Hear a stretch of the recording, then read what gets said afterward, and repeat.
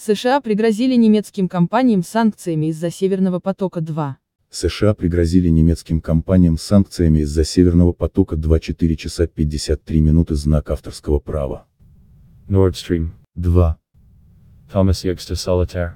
Во время работ по укладке труб газопровода Северный поток-2. Знак авторского права.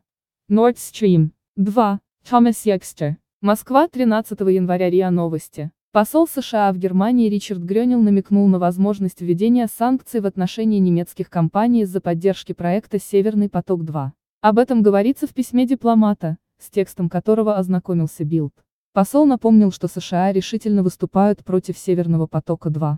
В частности, газопровод несет серьезные геополитические последствия для европейских союзников и партнеров Вашингтона. Также он заявил, что эти опасения широко разделяют.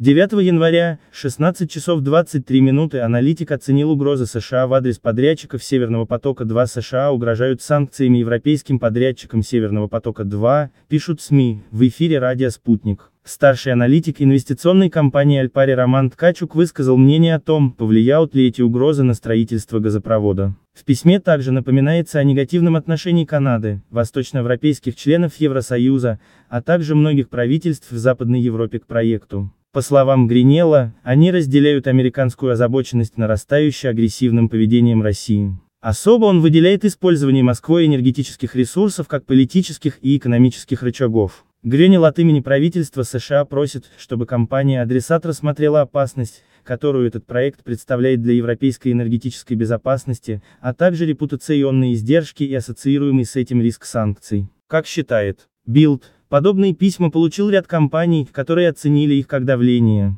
Представитель посла заявил изданию, что послание не следует воспринимать как угрозу, но как ясное выражение политики США. 9 января, 14 часов 07 минут.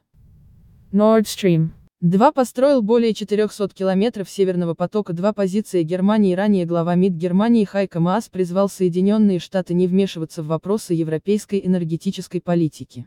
Он напомнил, что Северный поток-2 не является исключительно немецким и российским проектом, а имеет общеевропейскую значимость. Министр отметил, что Берлин воспринимает всерьез скепсис партнеров из Центральной и Восточной Европы в отношении проекта.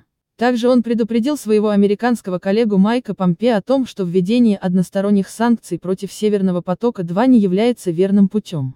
По его словам, санкции никогда не являются самоцелью, но политическим инструментом, и они имеют смысл, когда как санкции ЕС привязаны к ясным, выполнимым требованиям.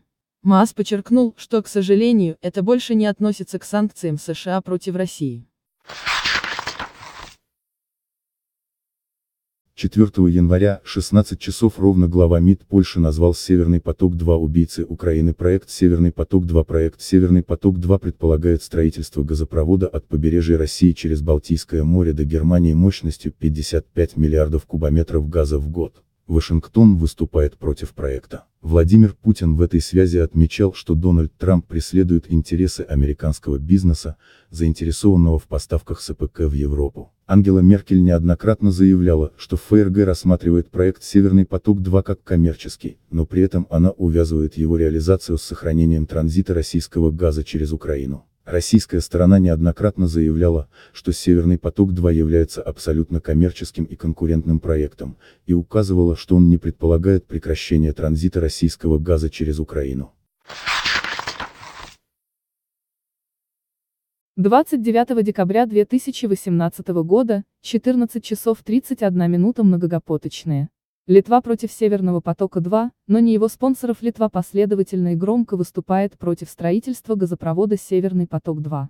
Но, как выясняется, вовсю развивает сотрудничество с компанией, которая этот проект финансирует.